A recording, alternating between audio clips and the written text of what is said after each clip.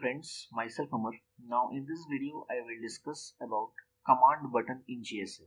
Okay.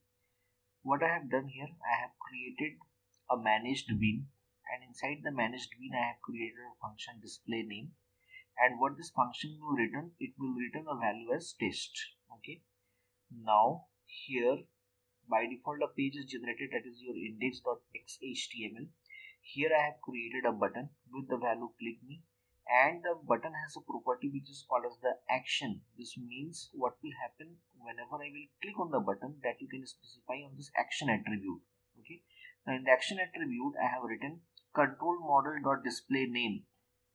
Display name means this function. This means whenever i will click on that button what this function will do? It will return test. This means whenever i will click on this button it will search for a page with the name test.xhtml because the value returned by this function is test and in the action I, what I have written in the action I have written control model model.display name.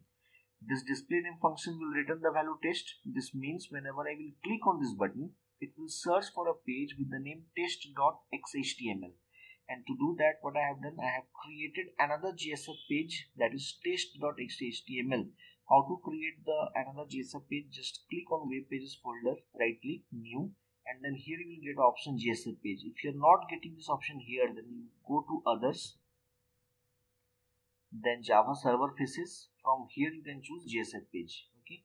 Next after that you need to specify a name. I have specified the name as test and this page is generated. In this page I have simply printed a message page called after button click okay now let me run this file.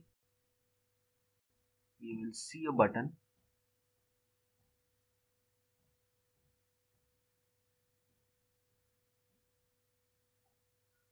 Yes. And whenever I will click on this button at that time see that page is called. The test.html page is called. Okay? But one thing you should notice here. Now this page which is generated the URL is index.xhtml okay? Now whenever I'm clicking on this button then which page is opening? Test.xhtml but whenever you click on this button you will see that the URL is not changed okay? Now how to change this URL? That portion I will discuss later on. Just for the timing, you should notice this thing okay? This is how we can create a command button and I can create another JSF page in NetBeans. Okay. If you like my video, please subscribe my channel. Thank you so much.